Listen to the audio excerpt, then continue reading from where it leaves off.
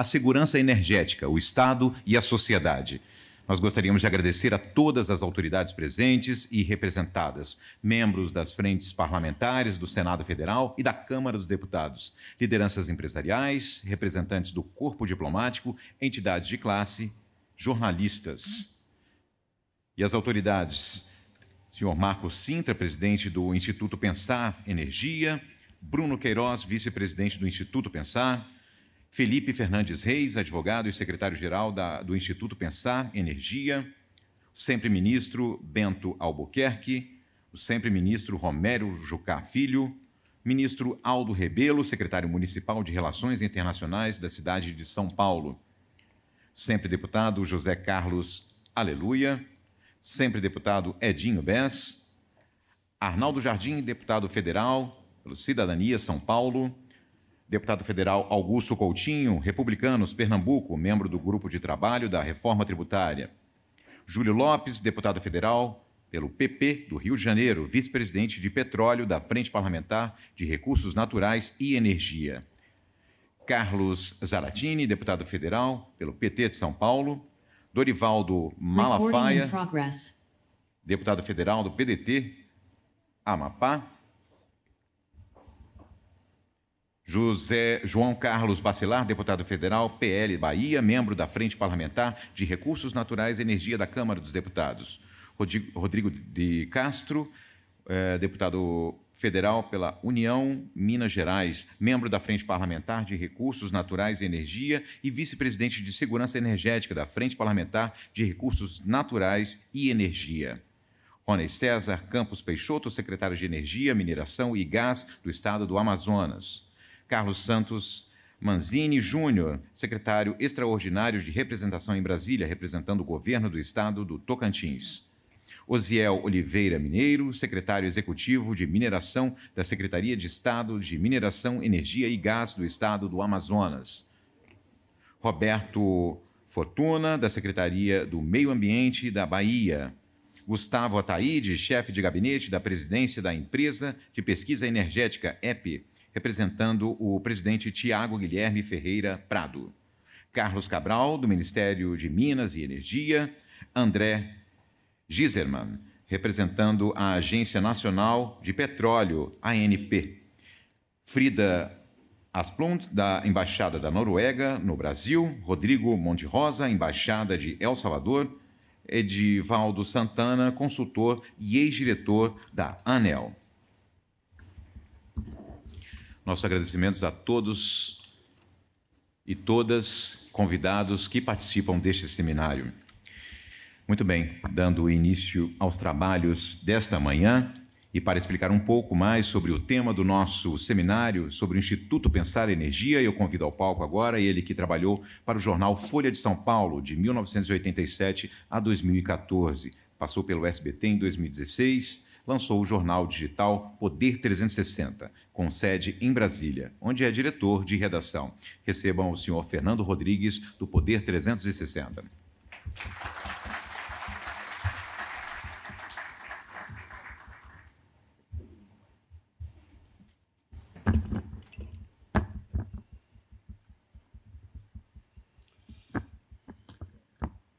Bom dia a todos. É uma, é uma honra, um prazer estar aqui neste evento que vai discutir um tema de extrema relevância para a sociedade brasileira, que é a segurança energética, o Estado e a sociedade.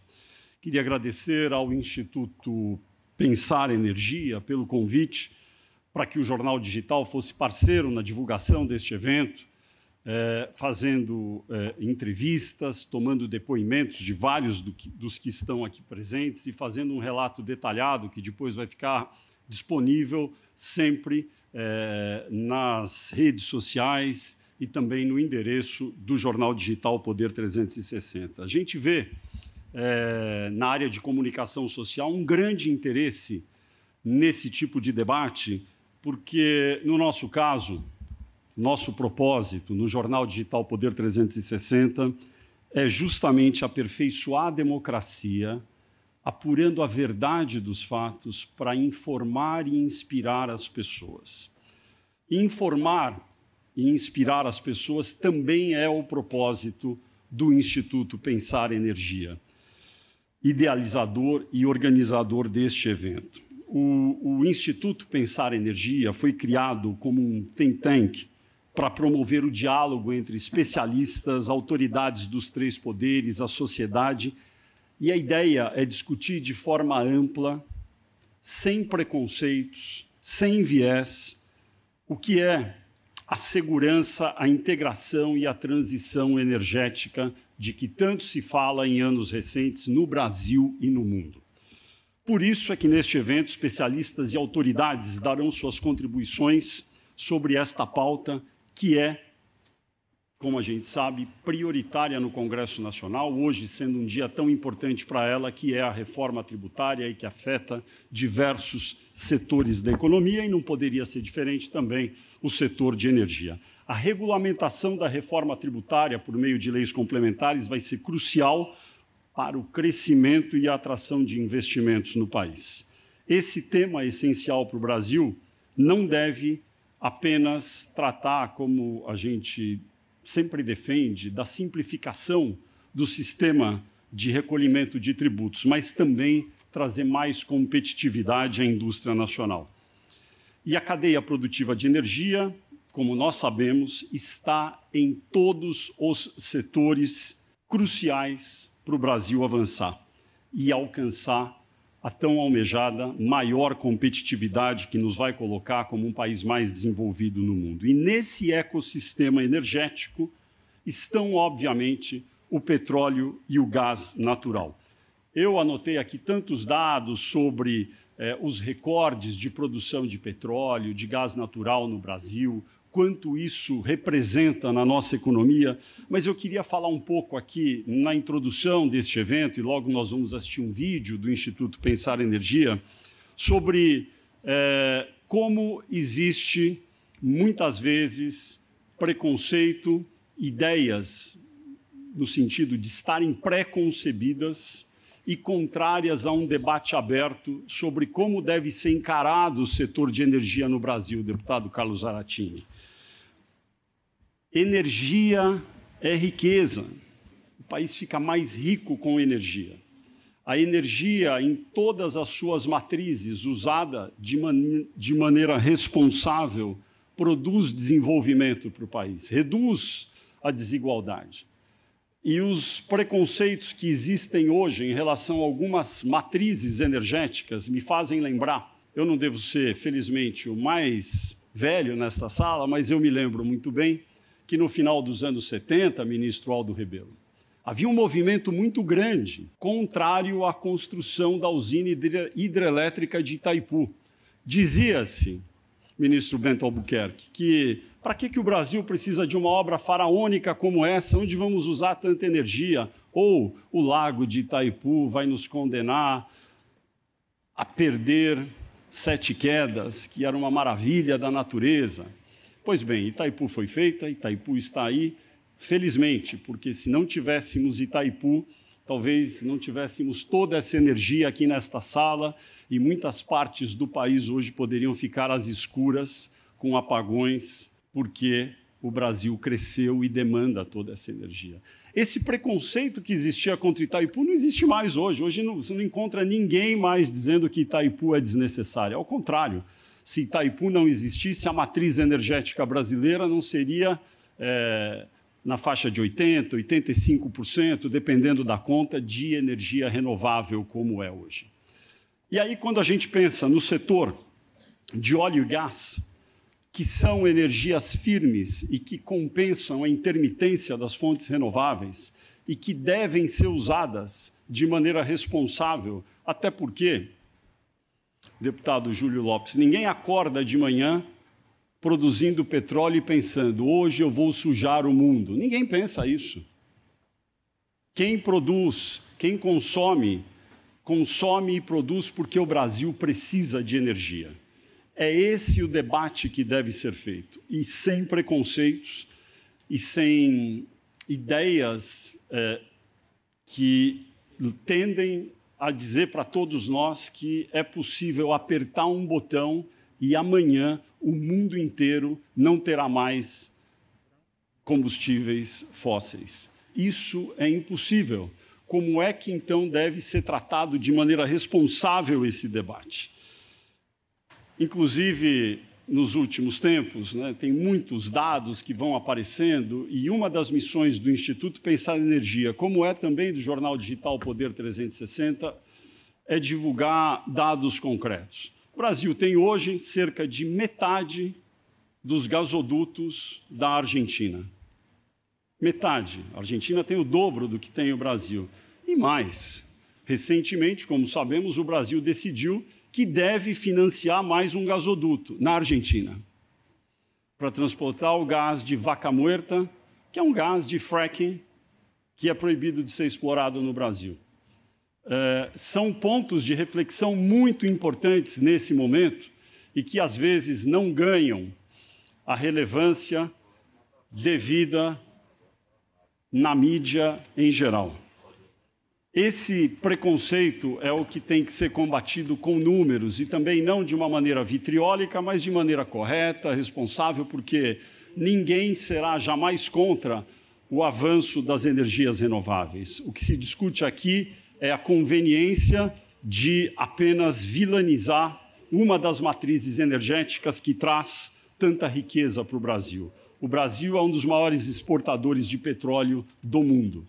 O petróleo também é riqueza, o petróleo é desenvolvimento e energia, nesse sentido, é vida, porque o Brasil, ficando mais rico, os seus habitantes, os seus cidadãos terão mais conforto e viverão num país melhor. Nós vamos discutir tudo isso aqui neste seminário, com a presença de todos os senhores.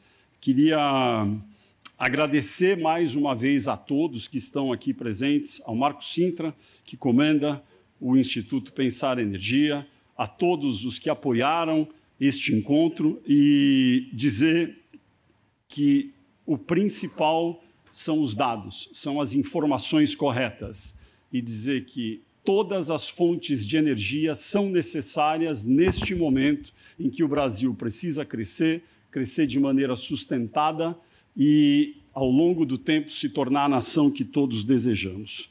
Nós vamos assistir a seguir um vídeo preparado pelo Instituto Pensar Energia e depois vamos partir para o primeiro painel. Queria agradecer a todos mais uma vez pela presença e convidar a todos para refletir e ajudar essa mensagem. Energia é vida, energia é desenvolvimento, energia é riqueza do Brasil em todas as suas matrizes e não apenas nas renováveis. Muito obrigado a todos, bom dia, obrigado por estarem aqui. A energia faz parte das nossas vidas.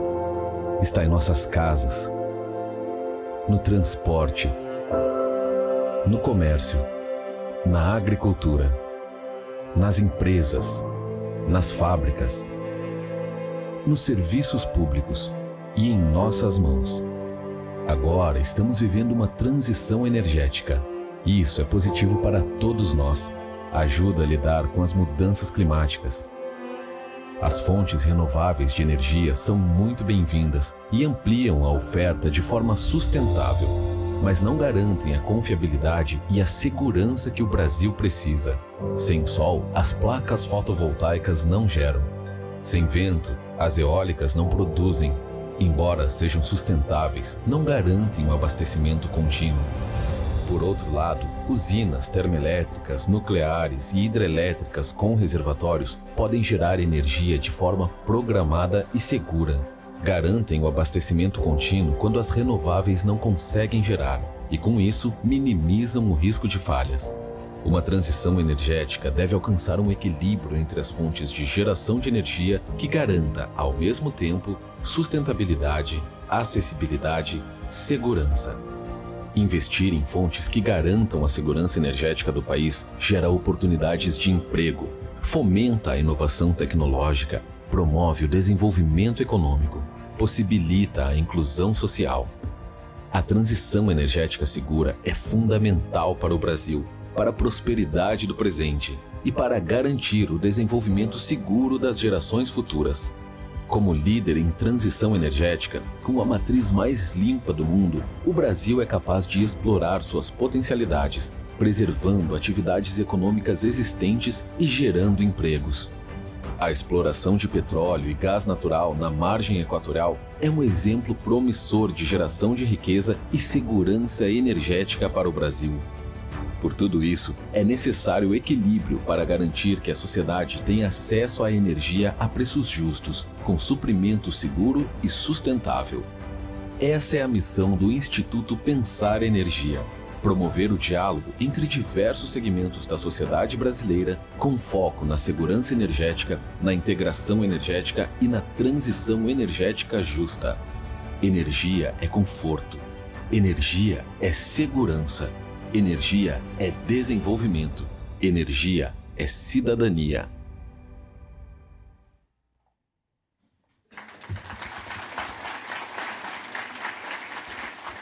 Muito bem, senhoras e senhores, dando continuidade à nossa programação, nós passamos agora à apresentação do primeiro painel desta manhã, que nos traz o tema Transição Energética, Reforma Tributária e Sociedade, o caso do imposto seletivo. Para tanto, nós convidamos ao palco os painelistas, são eles os membros do Grupo de Trabalho da Reforma Tributária, deputado Augusto Coutinho, Republicanos, Pernambuco.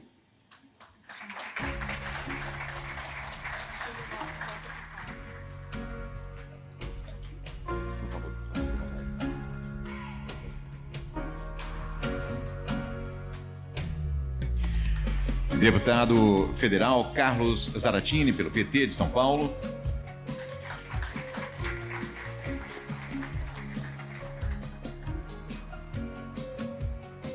Deputado federal Júlio Lopes, pelo PP do Rio de Janeiro.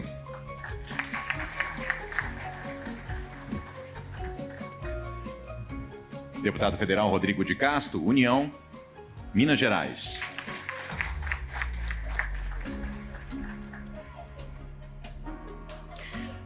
Senhor Braulio Borges, economista sênior da área de macroeconomia da LCA e pesquisador associado do FGV IBRE.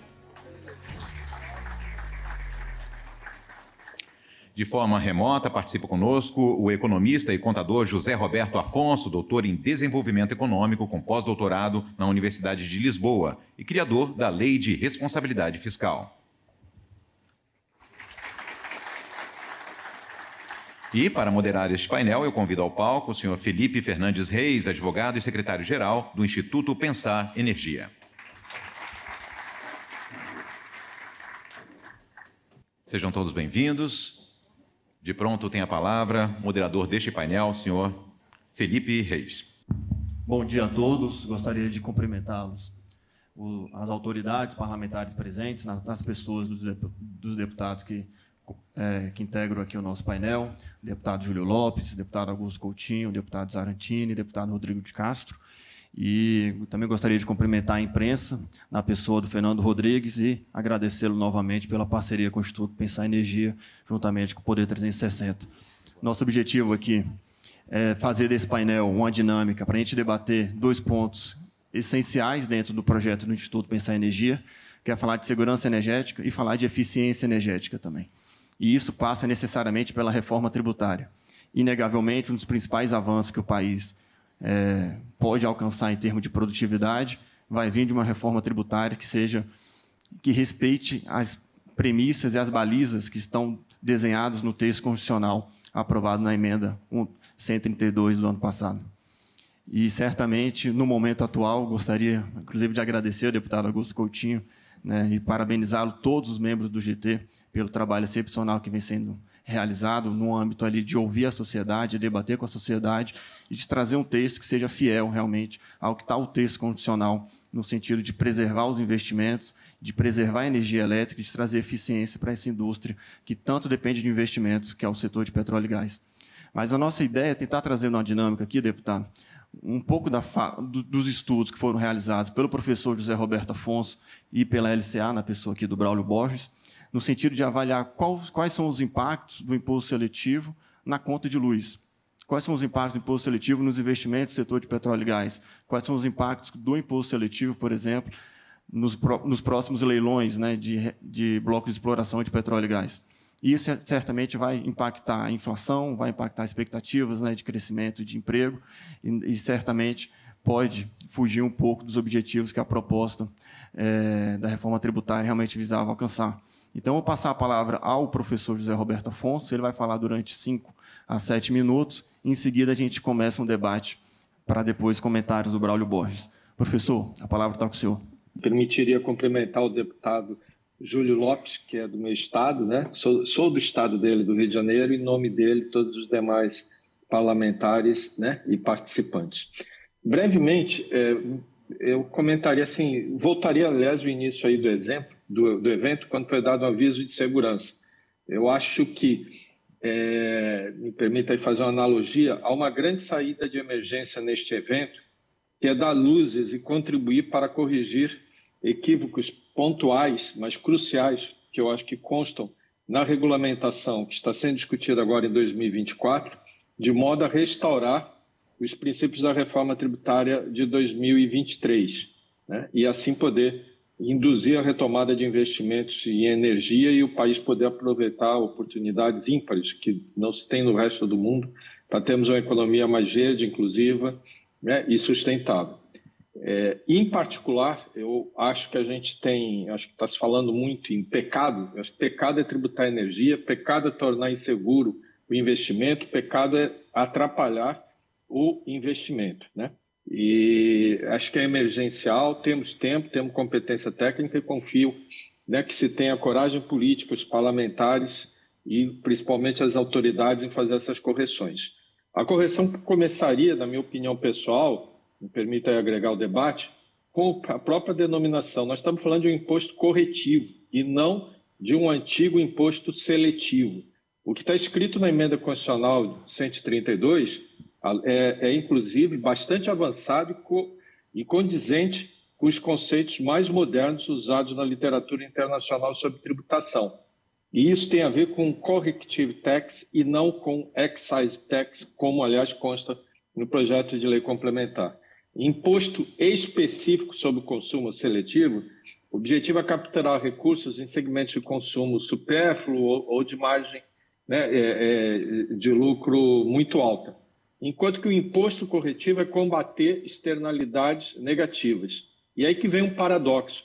Né? O sucesso do imposto corretivo é arrecadação zero, ela não ter prejuízo.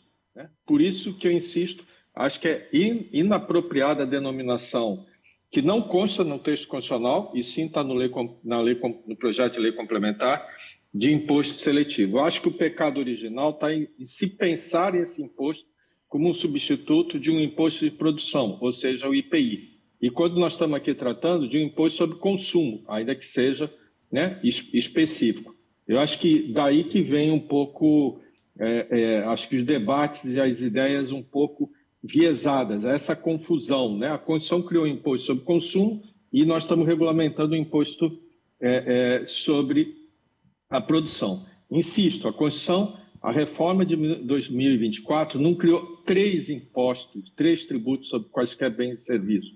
Criou só dois, um imposto IBS e uma contribuição de CBS. O terceiro é um imposto sobre o prejuízo para a saúde e o meio ambiente. É, o fato gerador, né, o, o, o que move esse imposto é o dano, não é o bem ou o serviço. É o dano à saúde e ao meio ambiente. Né? E o que à lei complementar é regular isso e não discriminar, na minha opinião, os bens e serviços. Aliás, lei, há uma lei complementar em vigor que faz isso, no caso é, do ISS, e a Constituição fala em definidos os serviços definidos em lei complementar. Não é o caso aqui né, de, deste imposto corretivo, onde ela diz prejuízos à saúde e ao meio ambiente nos termos da lei complementar. Né. Eu não posso listar qualquer um. Né? E isso é extremamente, eu quero insistir nisso, isso é extremamente perigoso. É isso que é, vem criar insegurança aos investidores. Podem ser seis, podem ser 60, podem ser 600. Volto a insistir. Né? O que nós precisamos é o imposto corretivo, ele tem finalidade extra-fiscal. Ele, é, insisto muito, é um paradoxo, né? é um paradoxo inequívoco, inerente a sua lógica. Né? O, o objetivo dele não é arrecadar, é exatamente ao contrário, é reduzir o prejuízo e, com isso, arrecadar menos. Caminhar no sentido diferente, aí que volta a 2024. Tudo isso que nós estamos prometendo combater, complexidade do sistema, judicialização, vai voltar isso tudo, na minha opinião pessoal, vai estar presente se houver essa, é, essa confusão conceitual. Né? Acho que, inclusive, isso envolve outros aspectos, como o texto constitucional fala incidência única sobre um bem. Né? E aí, na regulamentação, houve uma preocupação de dizer assim: ah, não tem crédito nem antes nem depois. Não é isso que está no texto constitucional. A Constituição está dizendo incidência única. Né? E aí nós temos que discutir que quando você pega um bem como uma energia que é feita né, é, é, com base em outra fonte né, renovável que já foi tributada antes, o que cabe ou não tributar. Tenho sérias dúvidas também sobre incidência é, é, é desse imposto sobre a exportação de minérios, de recursos minerais, porque o inciso 1 é bem claro, é, tem imunidade. O outro inciso, o último, fala em qualquer destinação. O texto condicional tem outras 16 citações da palavra destinação, e nenhuma delas a destinação é usada no sentido geográfico. E ninguém está dizendo que destinação é só ou é destinado para dentro do país ou é destinado para fora do país. Não, pode ser destinado para uso, diferentes usos. Enfim, quero aqui, minha, estou né, concluindo 45 segundos. Acho que, insisto muito, acho que o equívoco no original é ficar com o IPI na cabeça. Né? O IPI, inclusive, aliás, arrecada hoje menos que o PIS, menos do que o ISS, o IOF. Né? Então, buscar manter essa arrecadação, forçar a mão nos conceitos e, e na arrecadação para conseguir o mesmo ou conseguir mais, eu acho que isso vai ter um custo para o país muito alto. Mais do que o impacto inflacionário, os demais impactos econômicos, meu colega Braulio certamente vai falar em seguida, eu queria destacar os impactos indiretos.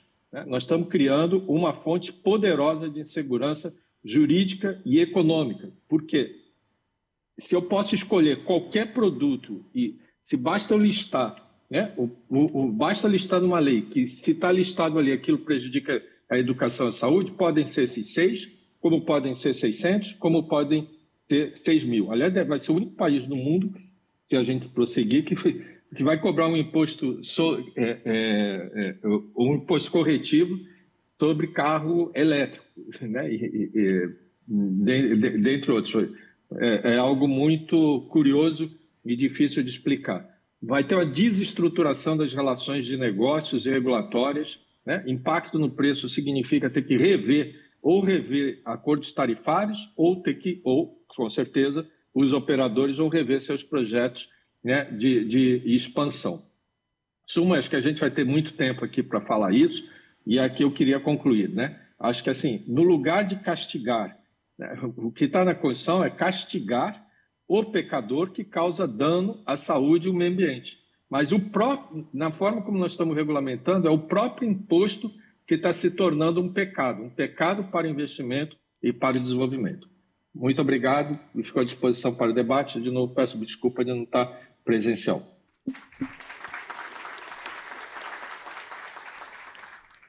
Obrigado, professor José Roberto Afonso. Dando início aos debates, gostaria de passar a palavra ao deputado Augusto Coutinho e tentando trazer um pouco né, das provocações que o professor José Roberto Afonso trouxe, assim, um imposto seletivo da maneira como está prevista, pode acabar incidindo também sobre petróleo e gás, obviamente, desincentivando a produção desses insumos. Tem um estudo da EPE, deputado Augusto Coutinho, que mostra que a produção de petróleo e gás no país, em termos de emissão, é abaixo da média mundial. Né? E quando a gente vai avaliar as emissões no Brasil, o petróleo e gás representa somente 1% do total de emissões. Então, nós temos uma produção de petróleo e gás extremamente sustentável, limpa e eficiente e talvez o imposto seletivo ele possa, de alguma maneira, vir a prejudicar um setor que vem contribuindo bastante, inclusive, com as práticas mais sustentáveis. Então, eu gostaria de também trazer essa questão para a fala do deputado Augusto Coutinho e já ficar à disposição para os debates. Acho que em cinco a sete minutos para a gente dar continuidade, deputado. Obrigado. Bom, bom dia a todos. Eu queria inicialmente agradecer ao Instituto Pensar Energia pelo convite realmente um dia é, muito apropriado para a discussão. Hoje, é, espero que nós votemos a regulamentação da reforma tributária. Eu queria inicialmente cumprimentar os meus companheiros Rodrigo de Castro, Júlio Lopes, Zaratini, Carlos Zaratini, meu querido ministro e sempre presidente Aldo Rebelo, é um prazer vê-lo. Meu amigo Zé Carlos Aleluia, companheiro, e meus conterrâneos João Roma e Romero Jucá, que aqui estão presentes. Dizer que é um prazer muito grande. E como dizia, hoje eu acho que espero que seja um dia importante, especial para o Brasil. Eu, desde que entro, entrei na vida pública, e não faz pouco tempo, sempre ouvi falar que tinham três reformas que eram fundamentais para o Brasil. A reforma da Previdência, essa eu tive a oportunidade de contribuir, inclusive como líder de partido, para que a gente aprovasse a reforma da Previdência. A reforma tributária. Nós votamos a PEC o ano passado e hoje votamos a regulamentação, espero que seja aprovado. E a reforma política. Apesar de muitas vezes as pessoas falarem que o Brasil precisa de reforma política, nós já votamos reforma política, mas não chegamos a um consenso, o perfil político que a gente quer. Eu já votei na Câmara dos Deputados se o voto seria distrital ou não, se seria o voto majoritário ou não, se seria o voto por lista ou não, se teria reeleição ou não. Já votei todos esses temas. Não houve consenso em torno disso e é por isso que a gente muitas vezes é, erroneamente vem com essa discussão de que se não teve uma reforma, uma reforma política. Não teve porque não se teve um consenso de um, de, de um sistema político que a maioria do Congresso Nacional, que são os representantes verdadeiros do povo brasileiro, chegaram a esse consenso. Mas é importante que se diga que a oportunidade que a gente teve de discutir esses temas, nós tivemos. Se a gente tem um sistema político que não é o ideal, mas é o que pelo menos se chegou em consenso dentre os representantes do povo brasileiro. Mas voltando à reforma tributária, de fato, eu pedi aqui à assessoria o, o, o quanto de trabalho a gente fez nesses 40 dias. O presidente Arthur Lira inovou, ao invés de definir um relator, ele para essa PEC 68, ele, ele definiu o, pegou os sete maiores partidos definiu, cada partido fez uma indicação de um subrelator, um relator, e nós há 40 dias estamos debruçados sobre isso. Ouvimos mais de 230 horas entre audiências públicas e mesas de diálogo. Mais de 450 entidades foram ouvidas. E a gente deu a oportunidade para quem quis falar, quem quis se pronunciar e se posicionar sobre essa reforma tributária o fizesse. Naturalmente, desde o início do dos trabalhos, nós definimos uma coisa: o governo mandou a reforma tributária com uma taxa de referência de 26,5% do IVA. Isso representa, na verdade, hoje, a, a, a, maior taxa no mundo gira em torno de 27, 27 e pouco por cento. E a gente tinha sobre nós uma responsabilidade muito grande, que era ajustar essa regulamentação da reforma tributária sem aumentar essa tarifa. Esse foi um compromisso que nós assumimos entre todos os membros do GT, inclusive com o presidente Arthur Lira. A grande preocupação, vários setores envolvidos nesse elo da, da reforma tributária, todo mundo tem com toda naturalidade os seus interesses e o defendem, e defendem os seus benefícios. E aí, para cada benefício concedido, é necessário se tirar um benefício que era para algum setor, no, no, intuito, inclusive, de que a gente não ultrapassasse essa taxa de referência. Eu saio depois desse trabalho, desses 40 dias e hoje, antes de votar a reforma, muito otimista. Não gosto de ver e lamento, às vezes, muitos, muitos brasileiros que são pessimistas, quando há 30 anos se discute essa questão e nunca se conseguiu fazer. E a gente agora vai fazer e vai votar hoje. Se Deus quiser, e Deus vai querer porque Ele é brasileiro, que a gente aprove essa regulamentação Precisará de ajuste? Sim, é óbvio que precisará de ajuste, de melhorias. O governo mandou um texto que nós melhoramos muito esse texto na Câmara dos Deputados. Depois de toda a discussão do texto que veio para o governo, eu me recordo que quando nós apresentamos o texto inicial a Bernardo Api, que era quem representava o ministro Haddad em todas as discussões, ele eu até brinquei que ele ficou saltitante, porque ele viu o que nós fizemos e a gente não fez nada para crescer essa alíquota. Inclusive, nas contas do governo, nós inclusive reduzimos em 0,3 ou 0,4. Então, na verdade, a gente precisa, é óbvio, hoje é um dia em que o parlamento tem de negociar. Nós vamos precisar de ter voto para aprovar a reforma. Ontem, já há dois dias, que a gente trabalha até duas horas da manhã, conversando né, é, é, junto com o próprio presidente Arthur Lira, que está acompanhando isso de perto, ponto por ponto, e eu estou muito otimista que a gente consiga avançar nessa questão. O imposto seletivo aqui foi, foi falado há pouco sobre que não se entende o imposto seletivo para o carro elétrico. É importante que se diga, inclusive, que é, a gente, o que assiste hoje, quando pensar o carro elétrico e dizer que ele, é, do ponto de vista ambiental, ele, ele é completamente perfeito, é um erro completo. O carro traz problemas, sim, depois de descarte da bateria, de pneu e uma série de coisas. E é importante, engraçado ouvir, é que países como os Estados Unidos, ultraliberal, começou a fechar sua, a sua fronteira para a importação de carros elétricos. Nós temos aqui no Brasil, só esse ano, já teve um aumento mais de 500% da importação de carros elétricos no Brasil.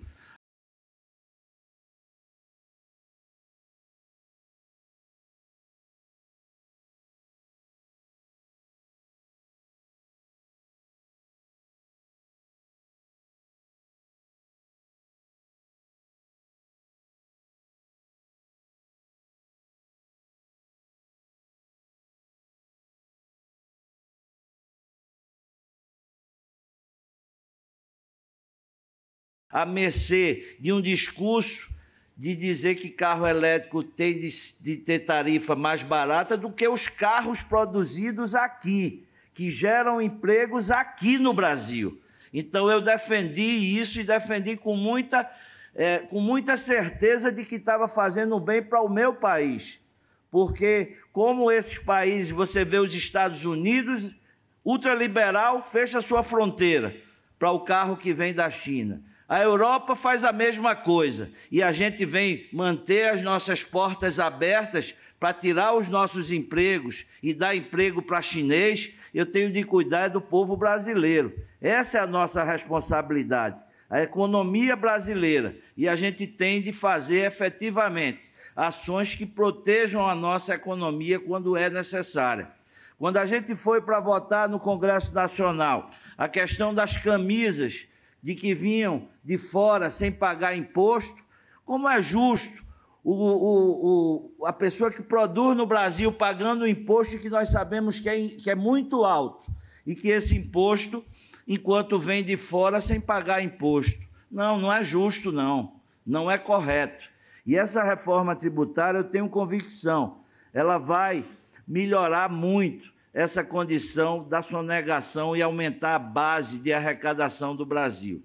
A gente estima que só na, na, na diminuição da sonegação nós podemos baixar de 4 a 5 pontos essa taxa de referência do imposto é, que está sendo cobrado, só com a sonegação. E como isso será um processo em cadeia, em que você, para ter você vai, vai, vai ter, incorporar e, e, e ter o, o, ou seja, a, a oportunidade de reduzir o seu que você vai pagar de imposto com o que a pessoa está na cadeia recolhendo. Então, na verdade, uma pessoa vai cobrar a outra. Essa, essa iniciativa do, do cashback é uma iniciativa muito, muito importante. Nós fizemos o cashback, que é exatamente voltado para a, a pessoa mais pobre, que está incluída no CAD único, e que esse cashback ele vai ter uma redução do imposto que ele paga para ele receber. Ele automaticamente vai ser um fiscal do governo para que seja recolhido imposto. É como esses estados hoje fazem o todos com a nota no meu estado faz, e chama, é todos com a nota, eu, cada estado tem diferente, que a pessoa pegar a nota para apresentar depois e trocar em, em ingresso para futebol, porque aí a Receita tem os dados.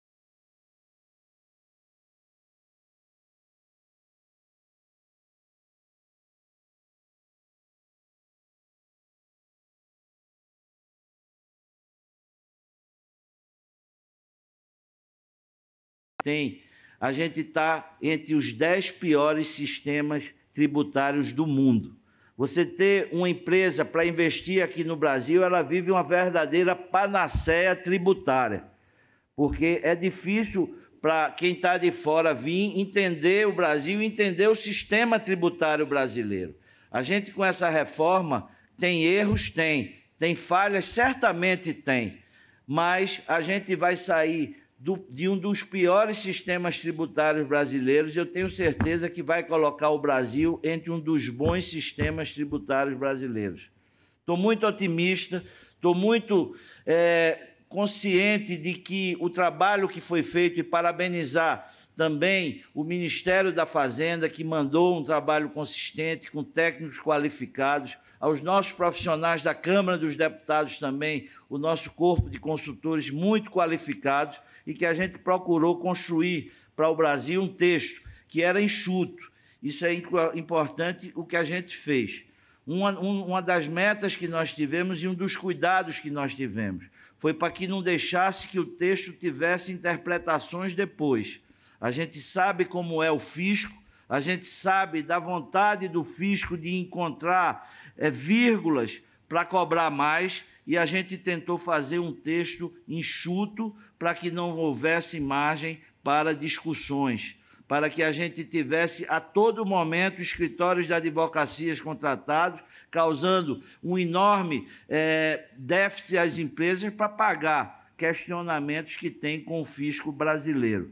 Então foi isso que a gente tentou fazer. Eu espero que a gente consiga, no dia de hoje, um momento histórico para o Brasil conseguir aprovar essa reforma tributária, parabenizar a todos que estão envolvidos, ao presidente Arthur Lira, que tem conduzido isso com muita competência, com muita responsabilidade com o país, porque todo mundo pergunta, e desde ontem só se perguntava: vai entrar a proteína ou não vai entrar a proteína? Vai entrar as armas ou não vai entrar as armas? E eu dizia, Todos nós gostaríamos de colocar proteína, como eu gosto, quer, gostaria de colocar proteína, mas eu não quero ser responsável para dizer que foi o Congresso Nacional que aumentou a alíquota que o governo mandou. Não quero ser responsável por isso. O que a gente quer é diminuir o imposto no Brasil. Então a gente tem que ter muita responsabilidade quanto a isso. A questão das armas, que muita gente pergunta: por que não entrou as armas? Porque a gente não deve e não poderia, no meu, na minha opinião, puxar para uma discussão tão importante como a, a discussão da reforma tributária uma questão ideológica. Nós íamos transformar a reforma tributária no Brasil de quem era a favor, quem era contra taxar as armas. E essa não é a questão. O Congresso pode, em outro momento, discutir ideologicamente se vai ou não fazer ou é, permitir ou não permitir as armas. Isso é ideológico. Eu tenho minha opinião. Por mim seria taxado, mas não é a opinião, não acho. Fui inclusive da opinião de todo o grupo que não deveríamos fazer isso e não deveríamos ideologizar. É óbvio que hoje, nos destaques que serão votados, nas emendas que serão votadas, esse tema voltará, mas é um tema é, específico de um partido político que tem o direito de questionar e vai se colocar a voto para ver o que a maioria pensa. Então, era isso que eu queria agradecer, pedir a permissão para me retirar. Nós temos já ah, começando a, a pauta, já está marcada já para as 11 horas. Eu tenho de ir ainda para dar uma vista, então agradecer a todos, dar um abraço especial ao meu ministro querido Aldo Rebelo, muito bom lhe ver, e muito obrigado a todos. Muito obrigado, deputado Augusto Coutinho. Gostaria de passar a palavra ao deputado Júlio Lopes, mas tentando trazer, né, acho que dois pontos que foram abordados pelo deputado Augusto Coutinho, e o senhor, que é o grande conhecedor do setor de petróleo, gás e de energia, de que o imposto seletivo né, do setor de petróleo e gás ele vai onerar ainda mais um setor que já tem uma carga tributária de 70% a 80%. Hoje, a cada três petróleos produzidos no Brasil, dois ficam a título de impostos. Isso tudo, obviamente, vai impactar a atratividade e expectativas de investimentos, conforme até abordado pelo professor José Roberto Afonso. Então, acho que dentro desse, dessa preocupação do setor, acho que é importante a voz do deputado Júlio Lopes como uma grande liderança aí do setor de petróleo e gás. Bem, bom dia a todos. Uma enorme alegria estar aqui, uma honra muito grande. Quero cumprimentar aqui o Marcos Sintra pela propriedade, oportunidade e sentido de um evento e, sobretudo, de um instituto para pensar aquilo que é o mais importante no Brasil, a geração de energia. Então, parabéns a todos que pensaram e oportunizaram não só essa reunião, mas também esse instituto para o bem do Brasil. Quero ainda também, Marcos, te saudar e parabenizar pela propriedade e assertividade dos consultores que você escolheu para nos reunir hoje aqui. Tanto o Braulio, que fez um, um, ótimo paper e que eu utilizei agora recentemente para os debates junto ao secretário da Fazenda e os colegas é, deputados do Rio de Janeiro, e aquele que eu sou extraordinariamente fã, que é o meu querido amigo Zé Roberto Afonso eu posso conhecer alguém tão bom e que entenda tanto de tributo quanto o Zé, mas mais do que ele não tem ninguém. E eu queria também, meu querido Bento, já te cumprimentando e declamando aqui a minha admiração pelo trabalho que você faz, dizer da propriedade vernacular, do vernáculo, do que diz aqui o nosso amigo Zé Roberto Afonso, como uma propriedade absoluta. Absoluta, Zé. Você está absolutamente preciso não se pode tratar aqui da questão de um imposto seletivo, que está se falando aqui é algo corretivo e inapropriado. Façamos, portanto, então, uma correção no corretivo. É absolutamente impróprio, indevido incabível que se tente tributar impostos sobre energia, sobre exportação de petróleo. Aonde já se viu disso? Pelo amor de Deus. Absolutamente equivocado, inadequado e indevida essa proposição. Tenho, na minha bancada, junto ao líder, junto ao Arthur e a todos, falado da enorme na propriedade dessa, desse tema. Não só porque desajustará ainda mais o Brasil, tendo impactos óbvios e evidentes no processo inflacionário e em todo o processo produtivo do país. É absolutamente indevido que o façamos, portanto, vamos pensar numa outra solução que não seja essa. E estamos aqui no Instituto Pensar para pensar e propor outras coisas. Então, eu quero propor aqui aos meus colegas, que eu tenho enorme admiração, aqui o Zalatini, o meu querido ex e sempre presidente da Comissão de Energia, Rodrigo Castro. Rodrigo, o Brasil precisa atuar na ilegalidade, precisa atuar na desconformidade, precisa atuar no contrabando, precisa atuar na falsificação e, sobretudo, no setor de energia também. Eu tenho um PL que está tramitando que é, propõe nós construirmos algo como aquilo que temos no setor de energia, que é o ENS, que é um paradigma mundial de qualidade da gestão elétrica do Brasil, para que nós controlemos a questão de combustíveis. Do ponto de vista tecnológico, é absolutamente fácil e ridículo nós monitorarmos. O Brasil tem 40.834 postos de gasolina, uma média de quatro bombas cada um. Controlar 160 mil bombas online, real time, é uma bobagem tecnológica. E isso pode resultar em, só nessa área, a diminuição de uma fraude de 8 a 10 bilhões de reais por ano, que lesam os consumidores brasileiros. Os consumidores brasileiros, nesta fraude, que está acompanhada e monitorada pela Fundação Getúlio Vargas há mais de 20 anos, os consumidores brasileiros pagam por um litro e levam, via de regra, 700 mililitros, 800 mililitros e assim sucessivamente. As misturas Nós temos que misturar obrigatoriamente na gasolina 23% de álcool. E na realidade o que nós temos lá é um metanol de péssima qualidade. Nós temos que misturar no óleo diesel 15%, 14% de biodiesel, e a gente sabe que essa mistura não está acontecendo em prejuízo do Brasil, em prejuízo da sustentabilidade.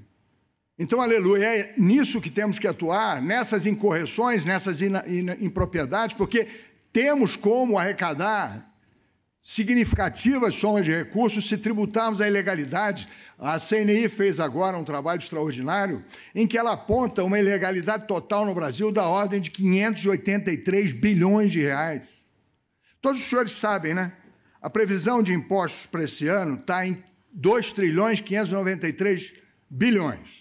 Um pouquinho melhor do que os 2 trilhões 488 bilhões de três, quatro meses atrás. Pois bem, vamos fazer, o, o, o Marcos, um desafio à sociedade brasileira. Temos que, em 2025, trazer da ilegalidade para a sociedade algo em torno de 100, 150 bilhões de reais, que é um objetivo até pequeno, em razão da proporção da ilegalidade e da disponibilidade tecnológica que nós temos hoje, da digitação, do acompanhamento real-time online de todas as transações de uma economia que precisa avançar. Eu tive é, conversando e a, trabalhando muito com o Zé, que eu já disse aqui da admiração que tenho por ele, no imposto, é, no, no PL da tributação digital do Brasil, aleluia. A tributação digital, e a gente acabou sendo vencido, porque a reforma tributária avançou e aí passou-se a ter outras discussões, mas o que nós precisamos fazer é exatamente isso: digitalizarmos todas as coisas e principalmente a tributação. E sobre esse aspecto, até estamos fazendo alguns avanços. Enfim, eu quero dizer que estou absolutamente otimista, radiante, de estar participando desse processo, Marisete, porque eu não tenho dúvida de que nós estamos reformando o Brasil para o bem. Nós estamos fazendo um avanço extraordinário, um avanço que jamais pensamos fazer em tão pouco tempo. E eu queria dar aqui uma mensagem tranquilizadora, que é o seguinte: nós teremos em 2025 todo o tempo do mundo, já com outro presidente, eu tenho a maior admiração pelo meu colega de partido, meu presidente Arthur Lira, que faz um trabalho extraordinário e que, se Deus quiser, e hoje vai aprovar a reforma tributária do país, para que nós a enviemos ao Senado Federal e que lá o Rodrigo Pacheco faça o mesmo para que nós possamos ter, Bento, esse trabalho retornando à Câmara em 2025 com tranquilidade, para que nós, deputados e sociedade e o Instituto Pensar, possamos ter outras maneiras e outras formas de tributar o Brasil.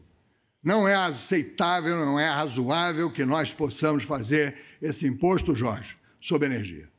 Há que se ter uma reflexão mais profunda sobre isso, inclusive do que chama a atenção aqui, o Zé Roberto Afonso, da impropriedade do, da forma como se nomina o imposto. Até nisso está equivocado dessa forma. E até porque nós também já temos os royalties para indenizar as questões de sustentabilidade, para indenizar eventuais danos que essa exploração é, provoque. Então, é, obviamente, quando o governo diz que não tem fins arrecadatórios, é um equívoco total e até charlatanice, porque se não tem, se não tem o objetivo de arrecadar, por que esse imposto está sendo instituído? Porque já existe o royalties. E ainda que nós façamos uma correção, não é essa correção a ser feita. Nós fazemos sim corrigir aquilo que não está sendo tributado, aquilo que não está sendo efetivamente cobrado. Eu fiz semana passada, alguns dias atrás, um debate é, sob convite do jornal Correio, o Fernando, que foi muito interessante, porque lá se falava da questão do imposto seletivo sobre bebida, Jorge. Olha que bacana. E aí é óbvio que tem que haver um imposto corretivo sobre bebidas. Claro, porque você corrige a, para a sociedade entender que aquele bem gera algum mal à saúde, e aí você faz uma gradação de impostos para que na oneração você tenha menos consumo. Mas isso não é a realidade no Brasil. Mais de 50% de todas as bebidas no Brasil estão ou falsificadas ou contrabandeadas ou não pagam imposto. Então você faz o corretivo só para quem paga. E aí o corretivo estimula ainda mais o contrabando, ainda mais a falsificação e ainda mais o descaminho e a inapropriação dos impostos. Então, Aldo, a gente precisa se propor aqui no Instituto Pensar a pensar, sobretudo, no setor de energias, outras formas de tributar e trazer o recurso para a formalidade, para a legalidade, para a apropriação da sociedade, que não seja absurda taxação da geração de energia termoelétrica, que não seja absurda taxação de exportação de petróleo, que não se viu em lugar nenhum. Então, nós temos, gente, muitas oportunidades, muitos meios, muitas outras chances de fazer o Brasil crescer, mas tenham otimismo. Estejam certos que nós estamos fazendo avançar e que nós teremos no Congresso Nacional toda a possibilidade de fazer as correções necessárias e o faremos. Eu tenho muita convicção na capacidade do Congresso, acredito fortemente que nós vamos refletir e adequar e apropriar essas, essas receitas de forma a equilibrar esse processo de arrecadação, que precisa ser feito de outras maneiras, para exatamente dar aqui adequação ao que coloca aqui o nosso amigo Zé Roberto Afonso, com tanta propriedade, e o que o Rodrigo nos enviou no seu paper com tanta oportunidade e com tanto conhecimento de causa. Não quero cansá-los, mas quero apenas dizer do meu maior entusiasmo, do meu agradecimento pela presença de cada um aqui, porque o que nós precisamos mesmo fazer é pensar num novo país, pensar numa nova proposta e nos enormes meios que temos de construir uma nação ainda mais maravilhosa do que a que temos. Muito obrigado a todos. Muito obrigado, deputado Júlio Lopes. É, acho que a fala do senhor realmente traz algumas reflexões muito importantes. E antes de passar a palavra ao deputado Rodrigo Castro, acho que é curioso, quando a gente fala de imposto seletivo, a gente sempre acaba abordando sobre bebidas alcoólicas, cigarros, é, apostas, né, as famosas bets, outros tipos de práticas né, de consumo que realmente chama um pouco de atenção do ponto de vista tributário. Agora, imposto seletivo sobre petróleo e gás, imposto seletivo sobre energia, realmente é curioso. O deputado Rodrigo Castro, como presidente da CME, sabe muito bem da importância do gás natural para a transição energética e o gás natural que já foi objeto de programa de gás para crescer, gás para empregar, agora é objeto do imposto do pecado.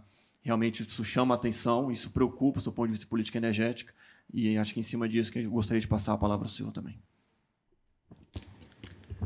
Bom dia a todas e a todos. Saudar com muita alegria nosso sempre presidente Aldo Rebelo. Muito bom revê-lo aqui conosco. Cumprimentar nosso ministro Bento Albuquerque. Saudade do seu tempo, Bento, no ministério. Sempre uma referência para todos nós.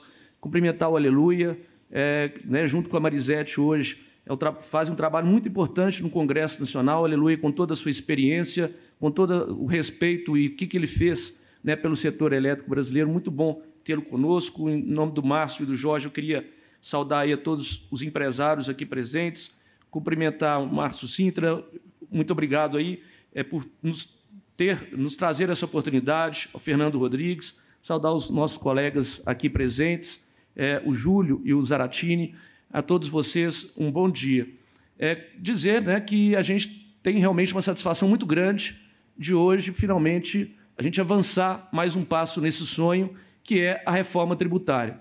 É, né, desde que eu cheguei no Congresso, estou no meu quinto mandato, então a gente sempre teve esse sonho de votar a reforma tributária. E agora chegou esse momento, acho que depois de uma exaustiva discussão no país, no parlamento também, nós tivemos é, avanços importantes, sempre conduzidos pelo parlamento ultimamente. É bom a gente é, refletir sobre isso, sobre o papel né, que, o, que o Congresso tem tido para o Brasil nós votamos a reforma trabalhista, nós votamos a reforma previdenciária e agora vamos votar a reforma tributária, trazendo os governos, e aí sem, sem nenhuma crítica aqui, a reboque nessa discussão.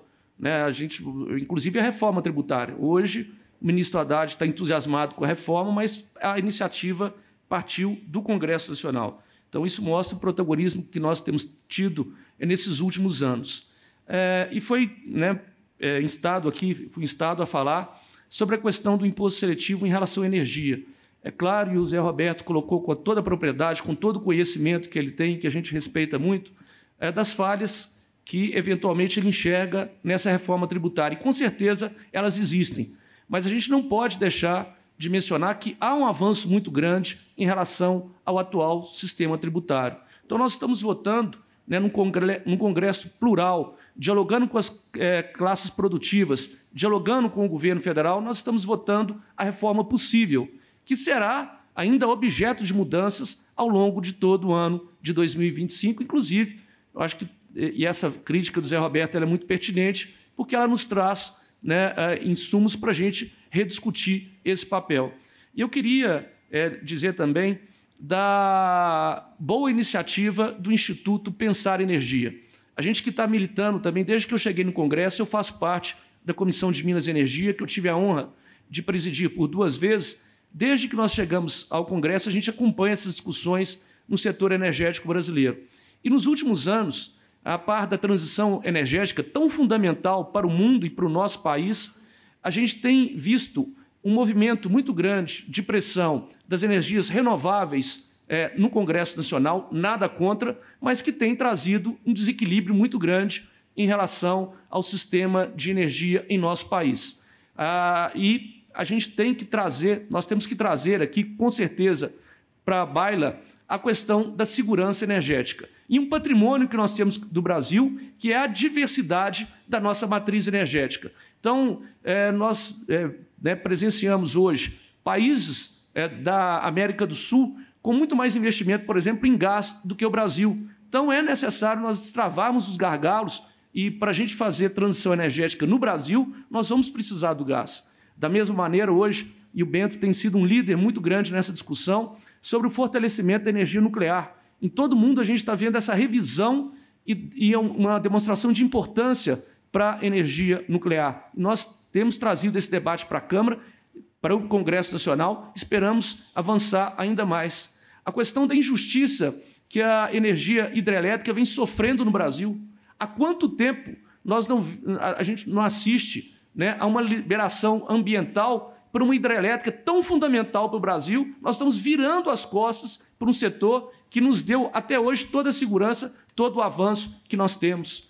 O petróleo, né? Nós temos aí a margem equatorial, os outros países da América do Sul se aproveitando dessa riqueza e nós, por razões ideológicas, né, a gente vê uma posição do Ministério do Meio Ambiente, do IBAMA, completamente ideológica, quando essa discussão deveria ser técnica. Então, o Instituto Pensar Energia, eu acho que vem trazer aqui para nós um alívio muito grande e um amparo de nós que né, carregamos essas bandeiras da segurança energética no Congresso Nacional, de termos novamente o amparo do setor privado, do setor produtivo nessa discussão, colocando argumentos que realmente fazem sentido para quem conhece o sistema de energia do Brasil. Então, agradeço muito a oportunidade de estar aqui com vocês. Nos colocamos à disposição, não só agora para a reforma tributária, né, dos, que a gente, nós teremos ainda essa discussão ao longo de todo né, o segundo semestre, em 2025, mas principalmente para que as leis que nós é, que sejam aprovadas pelo Congresso, elas não, não sejam uma, uma lei só de um viés, que elas sejam uma lei realmente, que sejam leis que abranjam todo o sistema. Então, muito obrigado, parabéns aí ao Pensar Energia.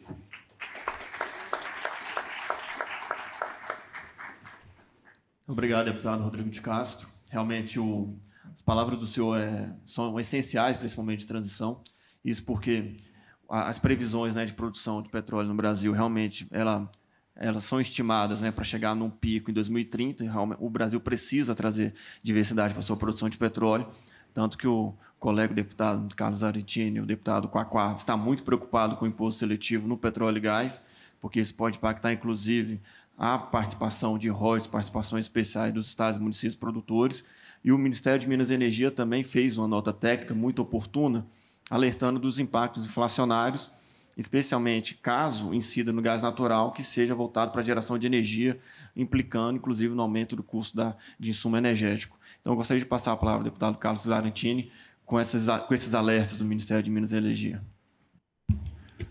Bom dia a todos e a todas. Em primeiro lugar, gostaria de agradecer o convite da gente participar aqui desse evento, cumprimentar aqui meus colegas Júlio Lopes, Rodrigo de Castro, Augusto, que saiu, cumprimentar também o Aleluia, que está aqui, nosso querido ministro Bento, cumprimentar o Aldo, nosso amigo Fernando Rodrigues, Márcio Sintra e todos e todas que estão participando. Acho muito importante a gente estar tá fazendo aqui esse debate hoje. Aliás, por coincidência, no dia da votação da reforma tributária, e colocando essa questão que, evidentemente, interessa ao setor, mas interessa também à sociedade brasileira como um todo, porque não se trata aqui de considerar apenas a repercussão de um determinado imposto sobre o setor, mas sobre o conjunto da sociedade. É evidente que essa, é, essa taxação, esse imposto seletivo, ele está colocado de uma forma que vai implicar num aumento de custos para a sociedade no consumo de, dos produtos de energia. E, na, como fator de produção mesmo, né, você vai encarecer esse fator de produção. Agora, também não podemos falar, não, tudo isso aqui ficou negativo, né? Quer dizer, a, a reforma tributária ficou negativa em função desse ponto. Né? Esse ponto ainda vai ser discutido, debatido e votado, não é, Júlio? E ainda vai ser resolvido. Mas, evidentemente, é, a gente tem que primeiro saudar o fato de que estamos conseguindo avançar fortemente na reforma tributária. E isso é muito positivo para o país. Né? Nós vamos dar um salto à frente em termos de produtividade, em termos de redução de carga tributária, em, em, termos de justiça tributária, a partir da entrada em vigor dessa reforma. Portanto, a primeira coisa que eu acho que a gente deve fazer é saudar, é avaliar aquele aspecto positivo que nós temos com a reforma tributária. Existem problemas? Evidente que vão existir problemas, porque os problemas são fruto também das pressões da sociedade, do entendimento da, que a sociedade tem sobre o conjunto de questões positivas ou negativas que ela enxerga. E também fruto dos lobbies, né? dos lobbies que atuam para tentar reduzir o imposto aqui, reduzir ali, mas sempre o objetivo que foi colocado é manter uma carga neutra de tributação. Ou seja, nós não queremos nem aumentar a carga tributária, nem reduzir, que também seria danoso exatamente para a gente poder cumprir as funções do Estado brasileiro.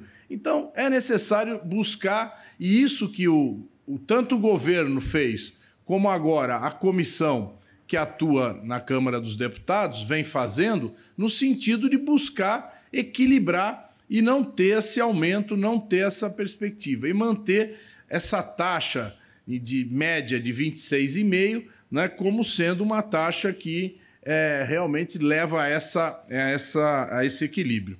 Agora, eu gostaria também de considerar aqui que muitas, muitas da, da, das razões desse imposto seletivo está sendo colocado é fruto de um entendimento que uma parte da sociedade brasileira tem sobre a, as questões energéticas.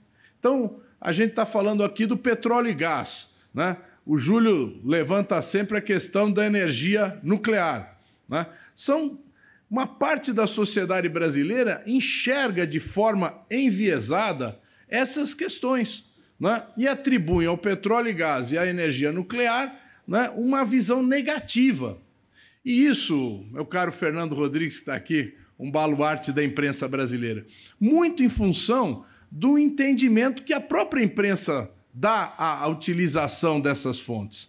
Então, é necessário, e aí eu quero saudar a, a, o Instituto Pensar e todo esse seminário, esse debate, é necessário aprofundar e esclarecer à população brasileira, à sociedade brasileira, o significado dessas matrizes energéticas. Quando se falou, bom, vamos explorar a foz do Amazonas.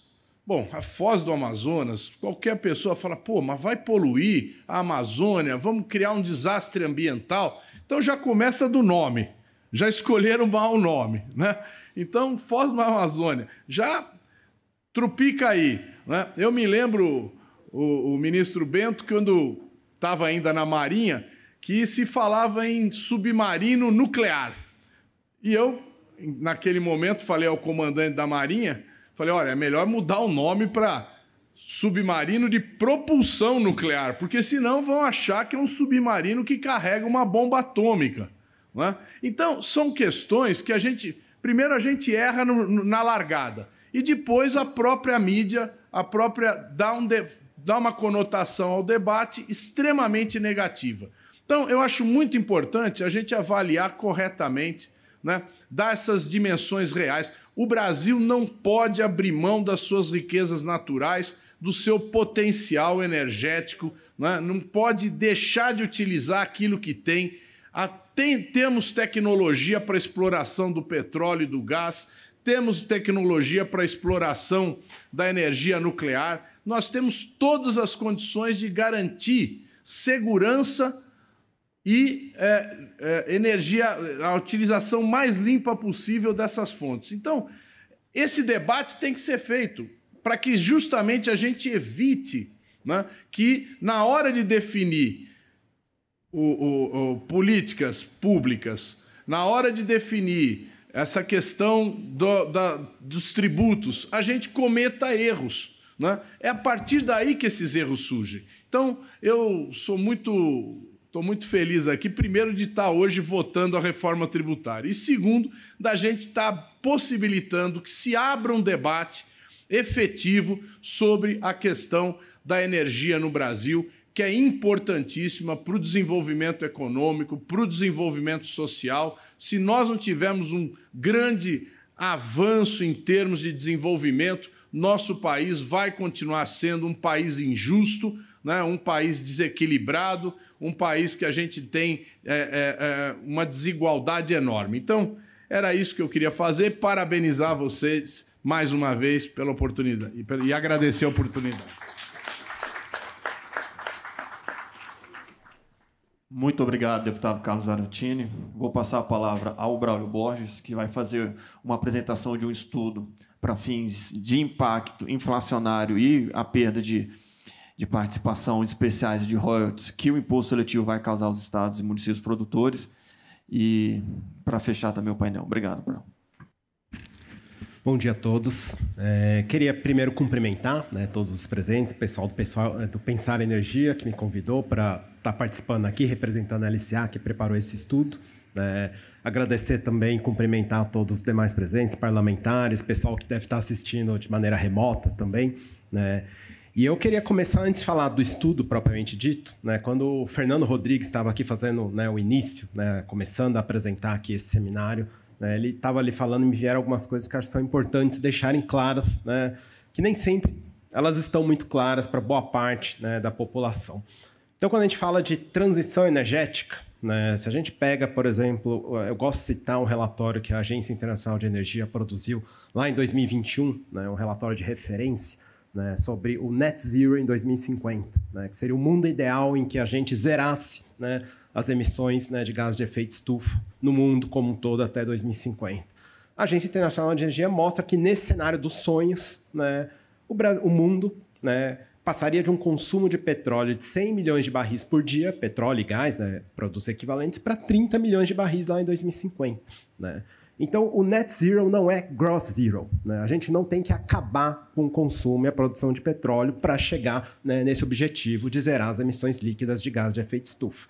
Né? E esses 30 milhões de barris de petróleo terão que ser fornecidos por alguém, e certamente o Brasil se qualifica, né, por questões de competitividade, de custo, né, a poder né, é, abastecer o mundo com um pedaço desses 30 milhões de barris de petróleo por dia lá em 2050. Né? Essa transição, obviamente, não vai ser linear, a demanda por petróleo no mundo ainda vai crescer né, até o final dessa década, antes de eventualmente começar a cair gradativamente a partir da próxima década. Né, e é nesse contexto né, que realmente né, é, surge essa oportunidade para o Brasil né, de explorar as amplas reservas que a gente já tem, né, tanto no pré-sal como na margem equatorial. É, esse era um primeiro ponto que eu queria deixar registrado aqui. Um outro ponto que tem tudo a ver com as duas grandes discussões que a gente está fazendo aqui hoje, que é reforma tributária e a discussão, principalmente de exploração de petróleo e gás, mas energia como um todo. Né? O FMI soltou, dois meses atrás aproximadamente, uma notinha, né, uma espécie de é, é, é, resumo né, de um relatório de acompanhamento que o FMI faz para todos os países. Para quem quiser saber, é o que a gente chama de artigo 4. Né, o FMI solta esse relatório para todos os países, uma vez por ano, uma vez a cada dois anos, enfim e há dois meses atrás ele soltou uma espécie de resumo né, do que ele pretende apresentar no próximo relatório sobre o Brasil. Né? E o que mais me chamou a atenção né, é que o FMI revisou para cima né, o crescimento esperado para o PIB brasileiro no médio prazo, aquilo que os economistas chamam de crescimento potencial do PIB, crescimento sustentável. Não é o crescimento agora em 24, 25, não, é o crescimento de médio prazo. Né? O FMI revisou esse crescimento de 2 para 2,5% ao ano, né? É, não é num ano ou no outro, é né, de maneira permanente. E ele nominou, né, ele denominou né, os grandes responsáveis por isso sendo a reforma tributária, que a gente aprovou no final do ano passado, e a extração de petróleo e gás, né, que no Brasil vai crescer algo entre 50% e 60%, 70% até o final dessa década.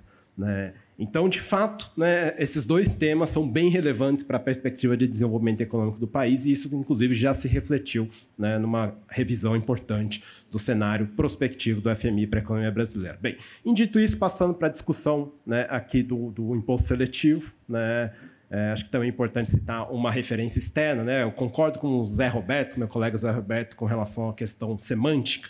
Né, talvez o ideal não fosse falar de imposto seletivo, mas falar de imposto corretivo. Né, mas, de qualquer maneira, né, se a gente pegar a expressão em inglês, que se, geralmente se usa para esse tipo de tributação, que é o excise tax, né, tem um relatório publicado há um ano e meio atrás né, pela Tax Foundation, um think tank de referência internacional né, sobre essas questões tributárias, e lá ele passa uma, faz uma grande revisão né, de quais são as a, a, qual que é o estado da arte da taxação do imposto seletivo do excise tax.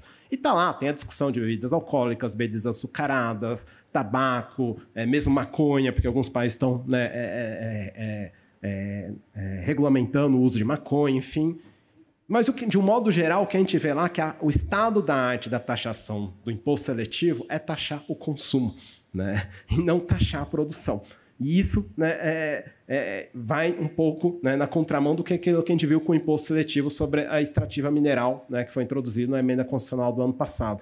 Um, do, um dos principais é, objetivos dessa reforma da tributação indireta que a gente fez no Brasil né, era acabar com a cumulatividade de impostos que acabam onerando principalmente o setor produtivo. Né? Então, quando a gente cria um sistema de IVA, né, em que a gente tem creditamento financeiro de todos os tributos pagos nas etapas anteriores, a gente está tentando acabar com a cumulatividade que faz com que, na prática, o Brasil exporte tributos. Né? A CNI estima que a tal da é, do resíduo tributário encarece as exportações de produtos manufaturados no Brasil em cerca de 7%. A gente tributa o investimento, né? 5, 6% de tudo que a gente investe no Brasil é imposto. Né? As empresas não conseguem recuperar o imposto que está embutido ali no caminhão, numa máquina, né? justamente por conta dessa acumulatividade. E a reforma né, tentou acabar com isso, né, e foi bem sucedida, na minha opinião, só que, curiosamente, o imposto seletivo cria uma cumulatividade, né, porque a gente está taxando a produção e essa taxação ela não é recuperável do ponto de vista de geração de créditos tributários. Né, então é meio contraditório né, é, é, a instituição disso. Né, e aí, já à luz do trabalho que a gente preparou, né, a pedido do, do Pensar Energia, né, me parece que é o seguinte: né, o governo tem dito né, que o, o, novo imposto seletivo vai arrecadar praticamente o que o IPI arrecada hoje, deixando de lado a, a parte do IPI referente à Zona Franca de Manaus. Né? Então a gente está falando de 50, 51 bilhões de reais, né, já tirando os 10 bilhões de reais né, que hoje né, se refere ao IPI da Zona Franca. É, pois bem, é, a gente fez a conta, né? esse, novo imposto, esse novo imposto seletivo sobre a extrativa mineral, se tiver uma alíquota de 1%, ele vai arrecadar algo com 8 a 9 bilhões de reais. Né? E esse valor é exatamente o, o igual para manter a arrecadação do, do, do, novo imposto seletivo igual ao IPI hoje, que é da ordem desses 50 bilhões de reais que eu citei. Qual que é a, a, o resumo da história, né? só para não me estender muito mais aqui? Né? O imposto seletivo foi uma espécie de, sobre a extrativa mineral, né? foi uma espécie de jabuti colocado ali, porque a gente está tirando, né, a gente está tirando o IPI que hoje é cobrado de vários produtos que não vão sofrer a incidência do imposto seletivo com a reforma. E aí eu vou citar aqui um produto que já foi né, é, é, é, nomeado antes, as armas. Né? As armas hoje pagam IPI de 55% né? e não vão estar no imposto seletivo. Obviamente que eu estou deixando de ter essa receita, tem que compensar em algum lugar. Essa compensação está sendo feita né, com imposto seletivo sobre a extrativa mineral. Eu citei o caso das armas, mas tem vários outros produtos que hoje sofrem incidência de IPI né, que vão deixar de sofrer essa incidência, né, porque ali está claro na emenda constitucional e principalmente no projeto de lei complementar 68, que agora o seletivo a ser bebidas alcoólicas, bebidas açucaradas, automóveis, né, é, é, é, e a indústria extrativa mineral e, e o tabaco também. Né? Então, tem vários produtos que hoje estão saindo do IPI que não vão ser sobretaxados pelo imposto seletivo, e aí a maneira de fechar as contas foi criar o um imposto seletivo sobre a extrativa mineral, né? justamente para manter a alíquota de referência de CBS BS né? mais ou menos estabilizada. Agora, eu acho que essa escolha foi uma escolha ruim, né? porque tem vários outros produtos que deveriam estar sofrendo a incidência do imposto seletivo, né, que ficaram de fora. Né? Vou citar alimentos processados e ultraprocessados. Tem um estudo super recente do Banco Mundial mostrando que geraria um ganho enorme para a população brasileira. Né? Tem vários, as próprias armas que eu já citei aqui antes. Né? É, e a taxação de carbono. Né? Então, para terminar, tem um minuto e pouco aqui, eu acho que essa questão né, da, da, do setor de petróleo e gás, principalmente, né, é, a gente está criando ali um, uma taxação sobre a produção, né, isso gera acumulatividade, isso vai afetar tanto a inflação, como a gente mostrou no, no, estudo que a gente preparou, como a própria rentabilidade do setor. E se afetar a rentabilidade, pode afetar os novos investimentos né, e fazer com que o Brasil realmente não consiga explorar essa oportunidade grande que a gente tem né, de poder explorar o petróleo que o mundo ainda vai precisar por muito tempo né, para poder gerar é, é, desenvolvimento econômico. Né. Então, eu acho que com isso eu encerro aqui a minha participação e depois a gente ainda vai debater muito mais. Obrigado.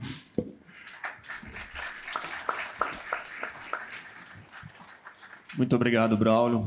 Já caminhando para o final, gostaria de agradecer a presença do deputado Carlos, Carlos Arantini, deputado Rodrigo de Castro, deputado Júlio Lopes, professor José Roberto Afonso, ao Braulio Borges, é, concluindo que acho que a grande mensagem desse painel é de que realmente energia não é pecado, energia é desenvolvimento, energia é um insumo para, a gente que, para que a gente tenha uma economia produtiva, com acessibilidade, com segurança energética.